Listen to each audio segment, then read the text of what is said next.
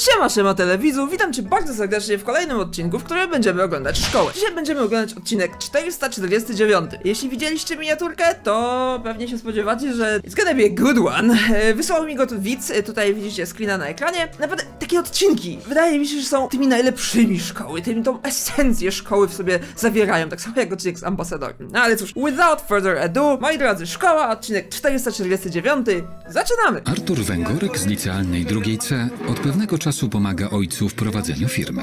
Przed znajomymi z klasy udaje poważnego biznesmena, co bardzo śmieszy Rafała Zięcinę i Maxa Nowackiego. Uczniowie są źli na Artura, bo się wywyższa i obraża innych, uważając się za lepszego. Czyli jak pomagasz ojcu w prowadzeniu działalności, to z automatu chodzisz do szkoły z aktówką i pod krawatem. Mm, tutaj, patrzcie, pokażę wam, jakim jestem nadętym bubkiem. U, mm.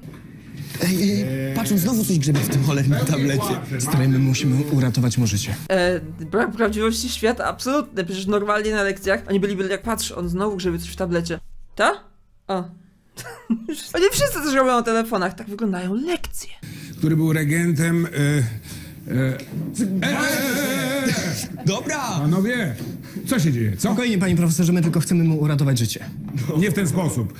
E, Artur, co ty masz na. na, na... Ja tylko wysłałem ważnego maila, wiem, prowadzę firmę z ojcem.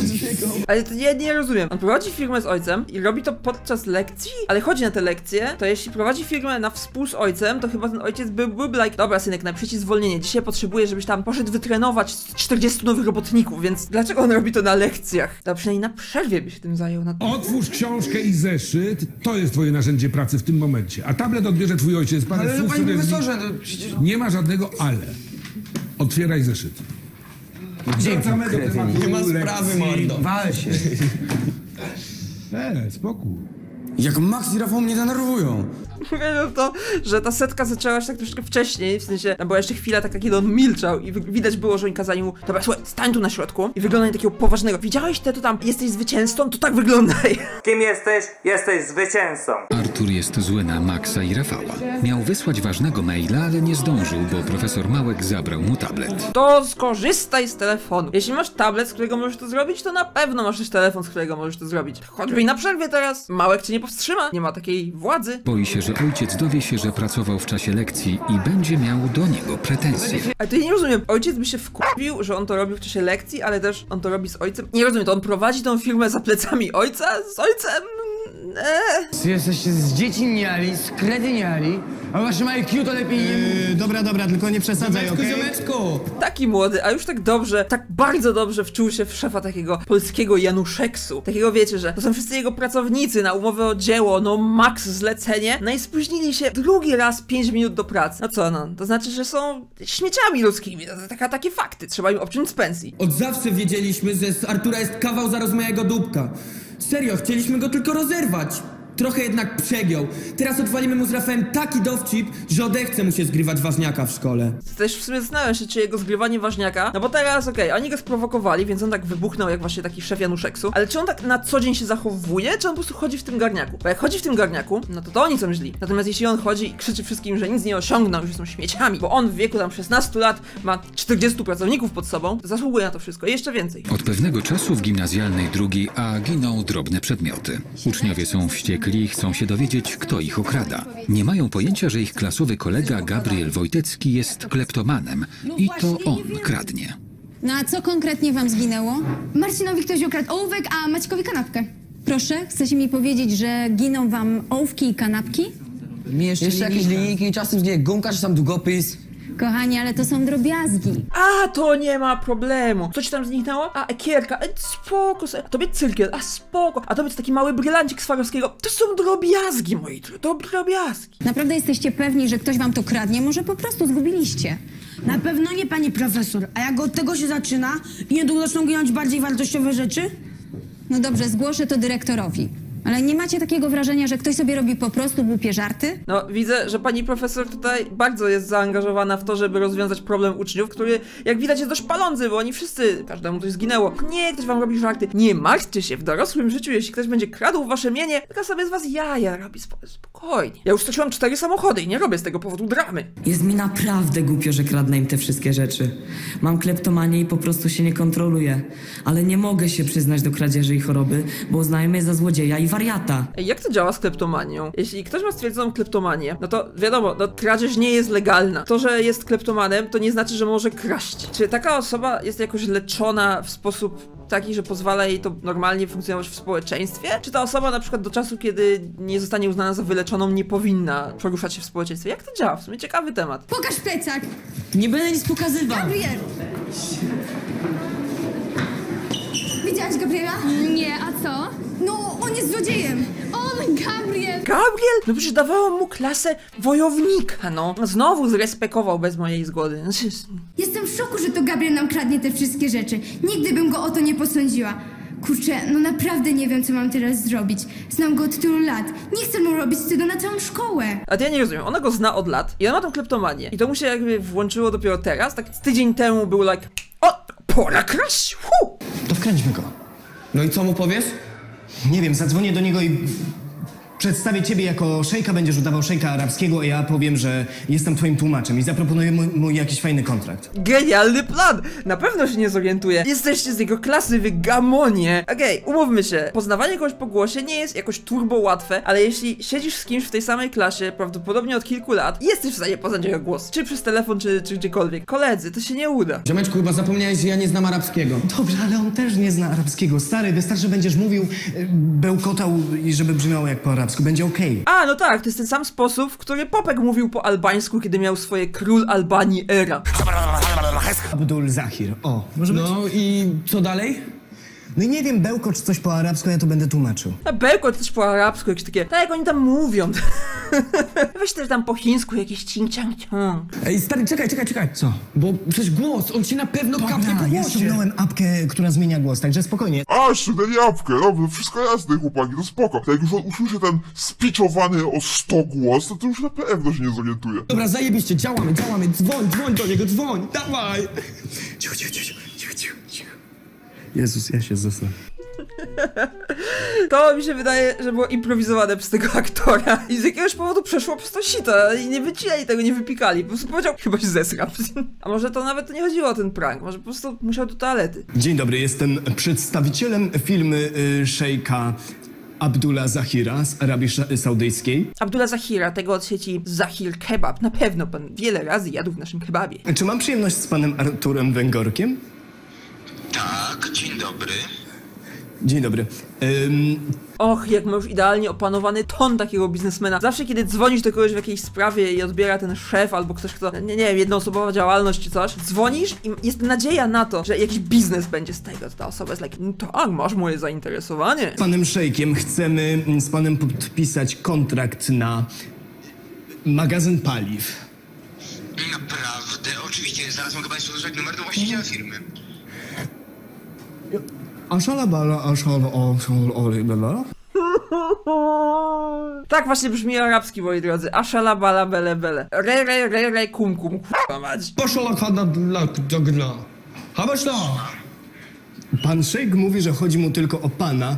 Yy, uważa pana za wielki talent y, biznesowy. 100% legit, na pewno tak by było. A w ogóle, skąd oni mają jego w loże tego, że oni są tymi biznesmenami arabskimi? Skąd oni mają jego numer? Na stronie internetowej tej firmy jest numer, no tutaj właściciel jakiś tam i mój syn ma 15 lat. A o jakim projekcie mówimy? Jakie sumy wchodzą w grę? Alasz, albo, Ależ dolar. Mówi, że 3 miliony ponad dolarów.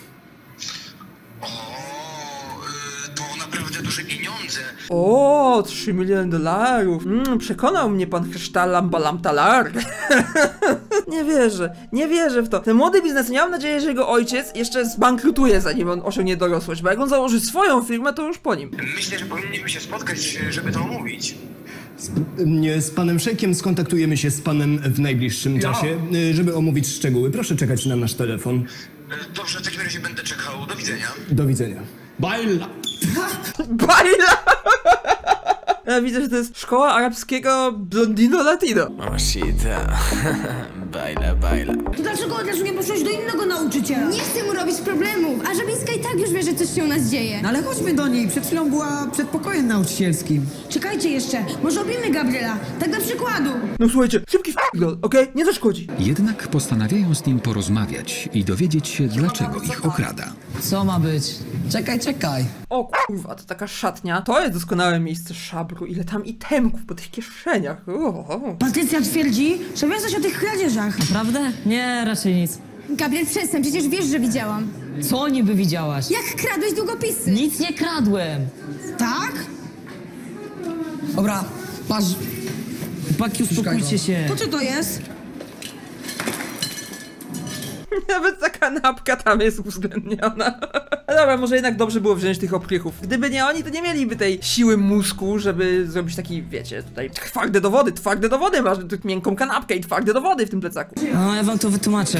Jak wytłumaczysz okradanie znajomych? Masz jakiś problem z kasą? No powiedz, przecież ci pomożemy. Tak, mam problem z kasą, dlatego kradnie kanapki i linijki. Kto to kupuje? Jest jakiś czarny rynek pierwszoklasistów, którzy są like, dobra, skradziona linijka, ale okazyjnie 50 groszy. No, bo ja mam taki problem. No dawaj, dawaj. No ale nie chcę tak przy wszystkich. Albo tu, albo idziemy do Żabińskiej. To ja już wolę przy Żabińskiej i nie przy wszystkich. Stary, miałeś szansę wyjaśnić to między nami. A jeżeli nie chcesz, to chodźmy. Nie no, takie karki tutaj. Chcieli go tak przykładnie obić, no ale honorowi, honorowi miały szansę tutaj przy nas, a tak to władza się tobą zajmie. Jolanta Żabińska również nie zdaje sobie sprawy, że chłopak cierpi na kleptomanię.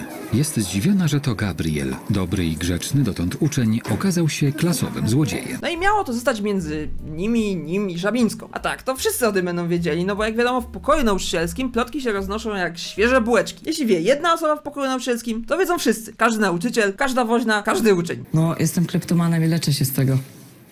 Naprawdę? Nic mi o tym nie wiadomo. No bo nikomu o tym nie mówiłem. A dlaczego? No bo miałbym przerepane w klasie. A to nie jest tak, że rodzice takiego Gabriela powinni zgłosić to, że ma taki problem i że się leczy? Wysłali go trochę, no i masz, synku, no. Co zajebiesz bez wykrycia, to twoje, what the. Ja naprawdę leczę się z kleptomanii, ale to nie jest łatwe. Nie chciałem, żeby moi znajomi się o tym dowiedzieli, bo uznaliby mnie za świra. Może gdy Żabińska porozmawia z moimi rodzicami, to pomoże mi przekonać resztę, że nie jestem jakimś wariatem. Dobra, jeśli chodzi o niemówienie całej reszcie uczniów, jestem w stanie to zrozumieć, bo dzieciaki są bezlitosne. Ale to w tym chyba rola nauczyciela. Nauczyciele powinni wiedzieć i nauczyciele powinni jakoś ewentualnie, jeśli by było trzeba, powiedzieć o tym w taki sposób, żeby dzieciaki w miarę dobrze to przyjęły. Zresztą to też nie są takie dzieciaczki najmniejsze. A w sumie to tak, oni są teraz w takim najgorszym wieku, takim właśnie, gdzie pierwsze co chcą robić to zabijać, potem zadawać pytania. Jest, jest, jest. Artur Węgorek, który jest zarozumiały, bo pomaga ojcu w prowadzeniu firmy, właśnie chwali się kolegom informacją, że otrzymał bardzo dobrą propozycję biznesową od arabskiego szejka. Chłopak jest bardzo podekscytowany. Uważa, że jestem wielkim talentem. W takim razie ja jestem myszka Miki. To jak dla mnie możesz już ubierać uszy tej myszki Miki, bo myśmy w- słyszeli całą tą rozmowę. Moim zdaniem was wkręcał po prostu. Stary nas wkręcał? Przykro mi bardzo, ale to my zazwyczaj wkręcamy. No, wła- no właśnie. A w ogóle jak oni mieli niby słyszeć tą rozmowę? On pewnie siedział w domu, albo znaczy w sumie nie, jeśli działo się to w szkole, no tak, no przecież zamknięta klatka, szkoła zamknięta klatka. To, to on widział chyba, że ich nie ma w okolicy. Słuchaj, Artur, 3 miliony dolarów i shake heszkę w meszkę, ja rozumiem, ale nie daj sobie przyćmić tego zdrowego rozsądku biznesmena. Ej, ale pamiętaj, wielki szacun za to, ale jak już wygrasz te miliony, to po prostu zabierz mnie gdzieś i Rafała, dobra? No co was mam zabierać do strefy VIP i pokazywać moim przyszłym partnerom biznesowym? O, strefa VIP magazynu, proszę, proszę spojrzeć. Tutaj, w strefie VIP, mamy nawet krzesło. To nie dla nas jest towarzystwo szejków, nie, dla nas. A co, to twój szejk się odezwał? Nie, to ojciec jest już w szkole i dodyskać tablet. Cześć. No prawdziwy biznesmen był w stanie wynegocjować to, żeby za przyjście ojca dostać tablet. Nie wydał żadnych pieniędzy, a pozyskuje. Aha, bo to jego tablet. No, no, Okej, wyszło na zero. Bilans wyszedł na zero. W sumie na minus, bo ojciec musiał wydać na benzynę. Twój tato mi powiedział, że zabronił ci pracować w szkole. Wiem, ale no ja chciałem pomóc. Ale w czym chciałeś dzisiaj pomóc? Nie dostałeś żadnych zadań nowych. No, no ja chciałem zrobić coś ponadto, coś więcej. Jakie ponadto? Jakie więcej? Miałeś mi tylko pomagać. Żadnych ponadto, żadnych więcej za moimi plecami, słyszysz? No i po co żeś go angażował? Panie drogi. Pana syn to jest przyszły albo kryptomilioner, albo NFT bra. No w najlepszym przypadku będzie rekrutował do piramidki finansowej. Ta firma pana to nie jest dla niego dobre miejsce. Nie pan go zwolni dyscyplinarnie, nie będzie problemu. Co, chciałeś się popisać przed kolegami? E, tak, no teraz to nieważne, słuchaj, jest interes do zrobienia. Dzwonił do mnie szejk, chce od nas kupić rury za 3 miliony dolarów. Będzie budował magazyn pali. Co ty mówisz? Co ty pieprzysz? Jakie rury? Jaki szejk? Laluna, co ty p***dolisz? Jesteś niepełnoletni i nie ma ciebie w ogóle w papierach mojej firmy. W ogóle ciebie nie ma, słyszysz? A po drugie, gdyby był taki interes tutaj do zrobienia, na pewno wiedziałbym wcześniej od ciebie. Wcześniej, słyszysz? Tato, to prawda. No to ja nie rozumiem, skoro ten ojciec jak krowie na rowie powiedział, nie ma cię w papierach, nie ma do ciebie kontaktu, skąd jakiś k***wa shake tarapara pum pum miałby numer do ciebie, do nastolatka? Ja bym się zmartwił na, na miejscu Artura. Chce mu udowodnić, że nadaje się do robienia interesów i na własną rękę Cotygodniowe zawody w rzucie chlebem się tutaj odbywają. W mojej szkole też tak było. Nigdy nie wygrałem. Dostajesz ochrzan czy coś? No, jestem inteligentnym człowiekiem, mnie się nie ochrzania, ze mną się rozmawia. I'm pretty sure, że dostałeś właśnie solidny ochrzan od swojego starego, który jest też twoim szefem, a raczej był twoim szefem, bo cię wyjebał. Stary, to jest niemożliwe, on nadal w to wierzy. To bez kitu, co robimy? Nie, stary, zwykłe przyznanie się do winy będzie słabe. Musimy zrobić największą akcję w historii szkoły. Znaczy jaką? Oj, trudno będzie, ta szkoła już widziała wiele akcji. Nie wiem, czy przebijecie pana ambasadora, no ale możecie spróbować. Nie wiem, ja do niego zadzwonię i umówię go z tym szejkiem, z nami, a ty do niego pójdziesz, żeby nie było podejrzeń. Okej? Mam pomysł, jeszcze wynajmiemy limuzynę taką, wiesz, z, przyciemny, z przyciemnianymi szybami, białą. Jeden z nas wyskoczy w kitlu, pomalowany na czarno, w czarnych okularach i, i przyjedzie do niego na to spotkanie. Przed chwilą mieliśmy odcinek o kimś, kto udawał nieco inną karnację skóry niż miał faktycznie, także... Wow, double combo! Tylko czekaj, bo kasa. M- Znajomy mojego ojca ma firmę z limuzynami, on nam to da po taniości, a pieniądze zbierzemy w klasie. Plot będzie taki, że okaże się, że to oni są lepszymi biznesmenami niż on. Oni nawet potrafią robić crowdfunding. Zbiorą pieniądze w klasie, żeby sprankować tego debila. Czyli cała klasa go nienawidzi. Zrozumiałe. Wszyscy? Tak. Słuchajcie, tylko szybko, bo nie ma czasu, a y, Artura nie ma. Jest sprawa. Dobra, siadaj na dupie. To jest takimi samozwańczymi liderami tej klasy. Ale błąd taktyczny, błąd taktyczny we wszelkich spiskach. Czy mają stuprocentowe zaufanie do każdego z nich? Tu może być kret. Tak, słuchajcie, bo jest taka sprawa, że chcemy wynająć limuzynę, tylko y, że to nie jest tania zabawa, więc potrzebujemy hajsu, a szejkiem będzie Maxi. Haba szala, więc tak, dajecie nam wszystko to, co możecie, jest nas taka ilość, że na bank uzbieramy na tą cholerną limuzynę. Przejdę teraz z plecakiem i każdy wrzuci to, co może. Ej stary, na uwalenie Artura, ja ci daję. No i ktoś mu wrzuci świeżo urodzone niemowlę. Masz, to mój pierworodny. No, jeszcze ktoś?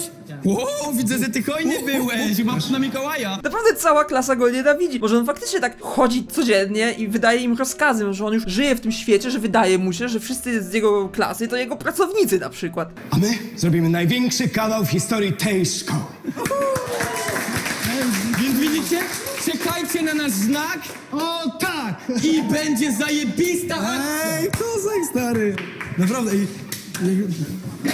Nie, nie zastanawia go, że jak wchodzi do klasy, to wszyscy nagle tak smutnieją. W sumie tak się pewnie dzieje codziennie. No dobrze, ale proszę mi powiedzieć, czy on rzeczywiście ma taki problem. Niestety tak. Gabriel wciąż na terapię, ale nie chcieliśmy o tym mówić. Nie chcieliśmy o tym mówić, bo chcieliśmy, żeby syn trafił do zakładu poprawczego albo do więzienia najlepiej. Wie pani, tak naprawdę zawsze chcieliśmy mieć córeczkę. Bo wszyscy by mnie uznali za jakiegoś świra. No ale dlaczego? Bo nikt by nie zrozumiał, że kradnę te wszystkie rzeczy, bo po prostu muszę. Myślę, że nie doceniasz swoich kolegów z klasy. A może to inaczej działa? Może on wcale nie ma tej kleptomanii, tylko jest po prostu dzieckiem w gildii złodziei. A guildmasterem tej gildii jest jego matka. Może ona sobie tak spłodziła takie małe szczurki, które kradną. Ale w sumie teraz faktycznie, to musimy powiedzieć prawdę, nie ma innego wyboru.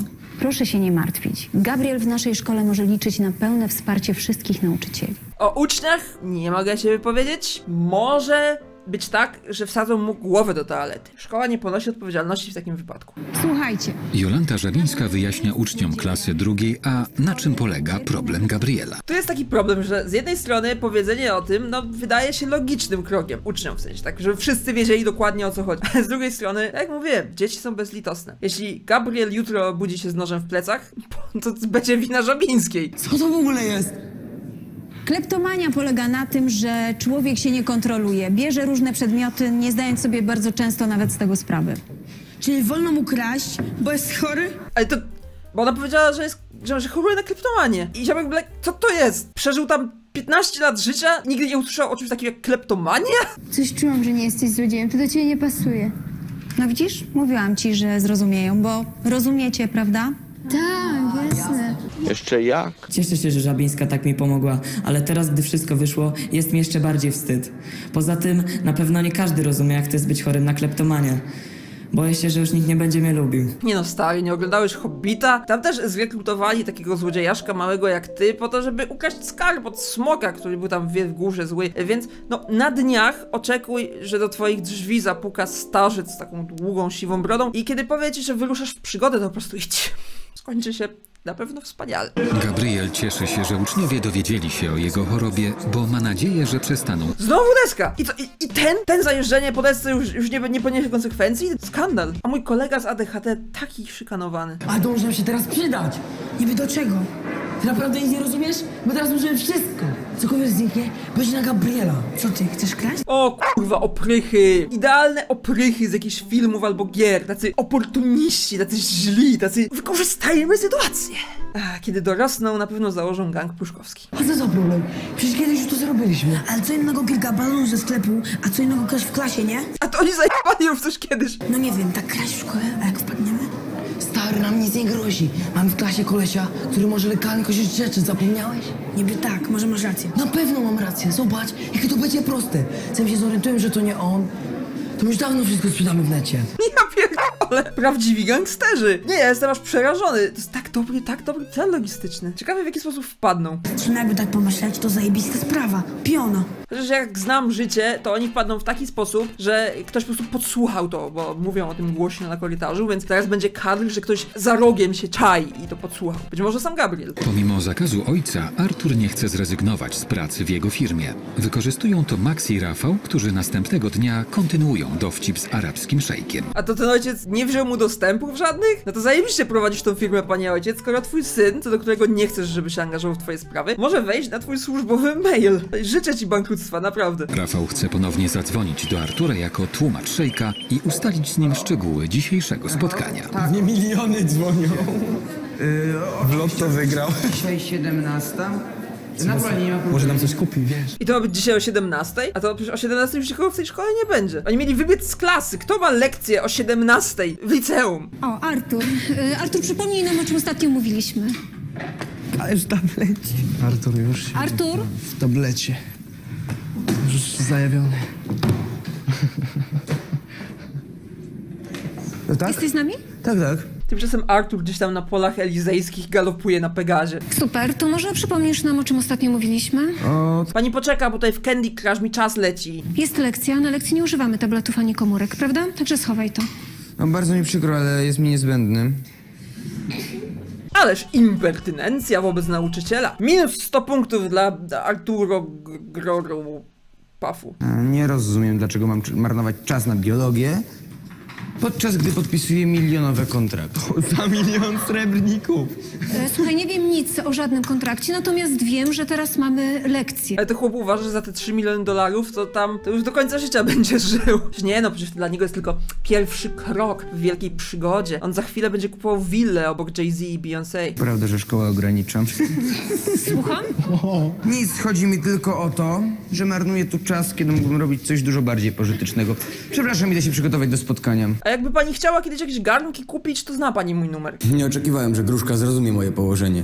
Jest tylko nauczycielką biologii w liceum, nie widzi nic poza swoim przedmiotem. Ja rozwijam się na wielu frontach.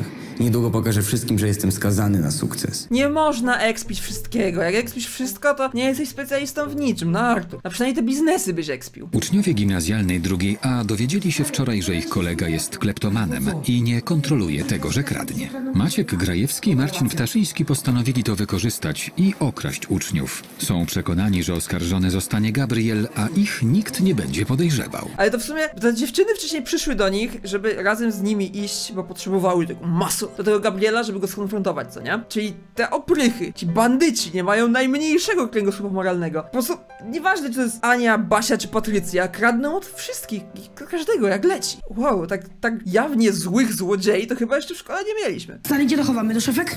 Nie, bo jak policja przyjedzie, to przeszukają nam. To gdzie? Słuchaj, dorobiłem sobie klucz konserwatora do- od składziku.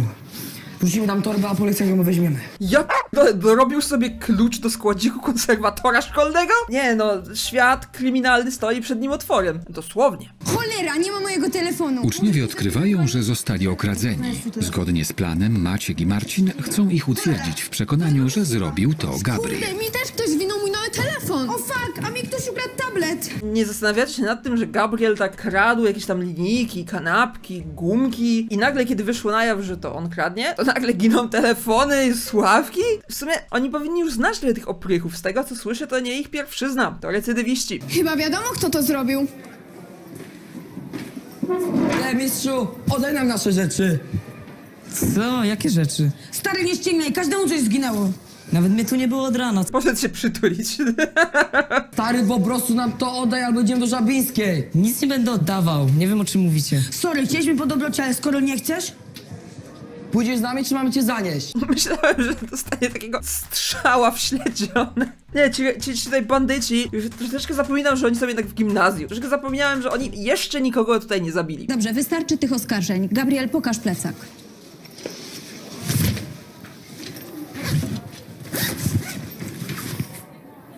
No, widzicie? Nic nie ma. Pokaż telefon. Widzi pani? Jemu nic nie zginęło. Dziwne, prawda? Słuchajcie, zrobimy tak. Na następnej przerwie te rzeczy mają się znaleźć bez względu na to, kto je zabrał. W przeciwnym razie wzywam policję. No, Gabrielowi nic nie zniknęło. To zupełnie tak, jakby ktoś chciał go wrobić. To nie my. Chłopcy nie sądzili, że Artur tak łatwo uwierzy w interesy z tajemniczym arabskim biznesmenem. Teraz chcą ośmieszyć zarozumiałego kolegę. Jak wyglądam? Jeszcze sobie beret sprawiłem? Nie no, cześć, A jeszcze pomalowałem? Beret sobie sprawił. To się nazywa Arafatka. No to gruba Ja jeszcze muszę beret szybko brać. W którą to... O, jest. Zarobiste. Pięknie. Kielony. Jak wygląda? Stary, jak sto wielbłądów. Tylko czekaj. Wyglądasz jak sto wielbłądów. Naprawdę, to jest tak głupie. To chwila, to kto będzie tym tłumaczem? To on się przyzna, że to on był tłumaczem, ale no, ja, jaki, co oni, oni chcą go, gdzie ma skończyć się prank? Prank skończy się jak już wylądują na farmie wielbłądów gdzieś tam chyba na Saharze, czy, czy o co chodzi? Czy po prostu prank się kończy w momencie, kiedy on wysiada z limuzyny? Bo jeśli prank się kończy w momencie, kiedy on wysiada z limuzyny, to można to było zrobić o wiele taniej. A pieniądze z za limuzyny na przykład schować do kieszeni. Nie, oni nie mają zmysłu biznesowego jednak. Okej. Zarąbiście. A co to znaczy sto wielbłądów? No stary, nie wiesz, w krajach arabskich podobno się płaci wielbłądami. Tak, Katar zbudował największe lotnisko na świecie na grzbietach wielbłądów. Ha! Pożyczyłbyś coś? To są moje pieniądze, mój biznes i moja sprawa. Kiedy zjawi się ten cały szejk? No niedługo, a co? No bo wiesz, wali to tak na kilometr ściemą, a biznesy to ty sobie możesz robić ze sklepikarką, a nie z Zdanie takich szejkiem. pajaców jak wy mnie nie interesuje. On jest w takim denial, w ogóle tutaj sklepikarka posłużyła jako przykład tego, że no z nią można robić biznesy, bo to każdy frajer może. Tak wyszła powiedzieć, co? Co? Chcę wam tylko powiedzieć, że wynegocjowałam 5 groszy mniej na każdym tym barku. Y, naturalnie za 10 minut, tak, dobrze. Dobrze, tak, oczy, oczywiście będę. Będę, dziękuję bardzo, do widzenia. Kto dzwonił? A tłumacz pana Szejka, zaraz będą tu pod szkołą. Że co, że niby to tak na serio? No a co ty myślałeś? Dobra, idę się ogarnąć, bo nie chcę wyglądać jak wy. To są poważne biznesowe negocjacje. O jasne, milioner. Kocham tego człowieka. Biznesmen wspaniały z niego będzie na pewno kiedyś. Rozkręci 30 firm i wszystkie splajtują. A potem pójdzie siedzieć za jakąś karuzelę VAT-u, o której nawet nie wiedział, że ją robi. Ojciec to będzie mnie błagał, żebym załatwił mu takie kontrakty, bo takiej umowy to on jeszcze nie widział na swoim stole. A, nie mogę się już doczekać spotkania z panem Szejkiem. Ej, a to właśnie, powiedzmy, że istnieje ten lore, w którym on faktycznie wierzy w to, że jest ten szejk, jest ten szejk i w ogóle. Jak to ma działać? On przyjdzie do tego szejka, powie no, dzień dobry panie szejku, jestem nikim w filmie mojego ojca, mogę panu zaproponować nic? Salam alejkum. Przejęty Artur czeka przed szkołą na szejka. Są z nimi koledzy z klasy, których Max i Rafał wtajemniczyli w całą sprawę. O, tak, w ogóle umawianie się po szkole. Ja wiem, przypominam wam, całe uniwersum szkoły jest otoczone takim szkłem, nie można z tego wyjść. Ale to dlaczego umawiać się z tym szejkiem przed szkołą, a nie choćby, nie wiem, na, już w rogu tej szklanej klatki, gdziekolwiek? Naprawdę dużo wiarygodności odejmuje ci to, że umawiasz się pod szkołą, a wokół stoją twoje ziomeczki z klasy, którzy szydzą z ciebie. Nie przejdzie stąd. Spokój. K1 VIP 3. Musisz chyba drzwi otworzyć, wiesz? To tak, jest taka zasada. Jako taki dobry biznesmen, to powinien wiedzieć, że taki prawdziwy szejk, no to ma 30 jakichś sługusów, którzy teraz by otworzyli drzwi, wiem, wytarli buty temu, co wsiada. Nie, nie, nie wiem, co tam jeszcze można robić. Fajkę wodną odpalić. A kogo pan przywiózł? Zobaczycie. Dobry? Dobry? A to rozumiem, ten szofer też jest like, a, jeśli tak wygląda sytuacja, no to zróbmy go w ch... Salam alejkum, być? Polish is a beautiful country. Poznajesz swojego partnera biznesowego? Wszystko że kredynami. Żyd, shaker taki turecki ze szmatą na głowie. Okej, abstrahując od wszystkiego, to muszę przyznać, że gdyby ktoś taką akcję odpał w mojej szkole, to śmiałbym się bardzo i przeszłoby to faktycznie do historii szkoły. To im się udało. Dobrze utargi nosa Arturowi. Jebany egotop. Cały plan wyszedł nam perfekcyjnie. Razem z Rafałem odwaliliśmy kawał dobrej roboty. Dobrze tak Arturowi. Za bardzo sadził się z tym swoim biznesem. Mam nadzieję, że teraz przynajmniej coś zrozumie. Oni od początku chcieli nauczyć go po prostu, że ma nie być takim egotopem i ma nie patrzeć na nich z góry. Lepiej wychowują niż szkoła. Chciałem wszystkim pokazać, że jestem super biznesmenem, a jedyne co osiągnąłem, to ośmieszyłem się przed całą szkołą. Coś czuję, że długo nie dadzą mi o tym zapomnieć. Sam sobie na to zapracowałeś. Teraz idź i wymierz sobie karę napisania 38 tysięcy maili o treści Hej, co, co tam, masz może czas na spotkanie? A mi coś tutaj nie pasuje. Ale co ci może nie pasować? Jest kleptomanem, tak? Chyba nic dziwnego, że rzeczy w klasie znikają. Nam nie chodzi o to, że w ogóle kradnie. Nas wkurza to, że się tego nie przyznaje. Przeczytałam o kleptomanii. Kleptomanii kradną byle co, często małe drobiazgi. I tak do tej pory było z Gabrielem. Czemu by nagle kradł tablety i komórki? Widzę, że coś mu się zmieniło. A ja myślę, że ktoś się pod niego podszywa. To kto by nas miał okradać? Wiesz, w naszej klasie jest takich dwóch gangsterów. Ja widziałam, jak jeden z nich pologuje kastet, ale to pewnie nie oni, wie, godni zaufania. Dobre chłopaki. A wy w ogóle myślicie o nim? Jeżeli to nie on nas okradł, to wiecie jak on się czuje? No właśnie, jeśli on. No bo nie mogę być pewna, ale udowodnię, że to nie, że to nie jego wina. No to powodzenia, bo na razie wszystko skazuje na niego. Tam w tle jeden chłop chce dźgnąć drugiego, ale tym się już nie przejmujmy, nie? Słuchaj, chcę ci pomóc, udowodnić, że jesteś niewinny. No ale przecież jestem złodziejem. Każdy wie, że to ja wcześniej kradłem. Masz chorobę, a nie jesteś złodziejem, to jest różnica. A czy to ważne? Osądzają mnie o coś, czego nie zrobiłem. Kurde, jakby dało się jakoś namierzyć te telefony, no. Można na przykład zadzwonić na te numery. No właśnie, przecież się da. Tobie nie ukradli telefonu, nie? No nie no, tu mam swój. Pamiętasz o tej aplikacji, o której gadaliśmy, do namierzenia telefonów? Na zielonej szkole, jak nam zabrali. Ależ wygodne! Nie wspomnieli o tym do tej pory w odcinku ani słowem. Teraz, teraz ta, żeby rozwiązać problem pojawia się Deus Ex Machina. Ten e, tutaj segment odcinka chyba pisał ktoś, kto dopiero zaczyna swoją przygodę w tej dziedzinie. Ale no, naprawdę wystarczyłoby zadzwonić, po, po chuj jakiś lokalizator. No ja ją mam w telefonie. Dawaj swój, namierzymy ten telefon w kilka sekund. Czekaj. Jeszcze wpisuję swój numer. Wyszukuję. Jest, jest! Gdzie? Patrz. Tutaj w szkole. Chodź szybko, idziemy. Stary, mówiłem, zarobimy na 100%. W sumie, no tak, gdyby zadzwoniło, to. Dobra. Z jakiegoś powodu miałem wrażenie, że ta szkoła ma metry na metr i oni to po, po prostu usłyszeliby, ale dobra, faktycznie, faktycznie taka aplikacja może lepiej się tutaj spisała. To dlaczego nie wspomnieli o niej wcześniej? Czemu pojawiła się na koniec odcinka? Ty, ten jest niezły. Chyba Anki, nie? Maciek, Najnowszy i ten. Marcin. Przecież oni byli pierwsi, żeby cię złapać. Ej, ale co robimy? Idziemy po Żabińską? Nie, mam pomysł. Zwołajmy grupę bohaterów, żeby zabili te złowieszcze, złodziejskie gobliny. Zajebista akcja, naprawdę. No, tyle towaru, a nikt nawet nie pomyśli, że to my. Mówiłem, łatwiejszej kasy ci nie zarobimy. Ale nie szkoda ci tego Gabriela, koleś jest na serio chory. Nie, kompletnie. Jemu i tak wszystko wybaczą. Dla niego to żadna szkoda, a dla nas zysk. Pewnie musimy to szy szybko opnąć, więc jakieś 6 tysięcy na oko, bo wtedy taniej. No, Gabriel nie poniesie odpowiedzialności. Tam Jego rodzice po prostu będą musieli zapłacić kilka tysięcy. Mam nadzieję, że jednak policja przyjdzie tutaj, bo jeśli nie będzie tej policji i oni nie trafią do poprawczaka za to wszystko, to to będzie bardzo duża niesprawiedliwość. A jak nie szybko? To pewnie z 10 będzie.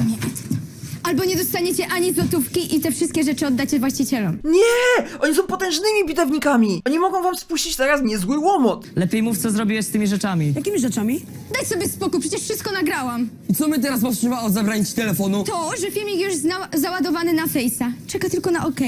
To co mam zrobić? Podzielić się z wami? Bierzcie, mamy tego pełno. To jest właśnie... tak myślą przestępcy. No, nakryj nas na czymś złym, podzielmy się, dajmy im działkę. Macie dwie opcje. Iść do Żabińskiej się przyznać, albo filmik trafia na Face'a i jesteście złodziejami przed całą szkołą. Stary, chodźmy żeby do tej żabińskiej. Zwariowałeś? Mamy się tak dać zrobić? Prędzej umrę, niż pójdę do Żabińskiej. Chcemy cię przeprosić za ten dowcip, ale za bardzo przesadzałeś z tym prezesowaniem. Zrobiliśmy to tylko i wyłącznie dla twojego dobra. Salam alejka, ziomek. Salam alejka. Zrobił to tak naturalnie, rozumiem, że teraz to już jest running joke, że kiedy ich widzą, to są like, o, to no, sh- shaker. Chcesz z nami iść na imprezę? Co? Na imprezę z wami? Serio? No, będzie super. Możesz iść z nami, będzie cała klasa i w końcu będziesz mógł im pokazać, że jesteś super gość. Tylko bez żadnej marynarki, bez żadnego krawatu. I pamiętaj, bez żadnych biznesów na Dokładnie. To jak? Spoko. Dzięki, chłopaki. Spoko. Zobaczysz, polubią cię. Na tej imprezie będzie w końcu mógł zapić te wszystkie smutki i zobaczyć tą ciemną stronę biznesów, kiedy wszystko się nie udaje i kończysz z niczym, a raczej z minusem. Kurde, nie mam długopisu. Cześć, ja coś znajdę.